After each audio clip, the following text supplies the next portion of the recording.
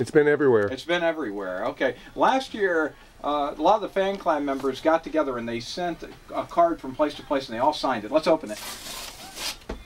Uh, you can see it's priority. This is an expensive one. Tony was the last, obviously, to have this. I have no idea what it looks like, but my gosh, do not open until Friday the 9th from Tony. Hold on. Let me get it open.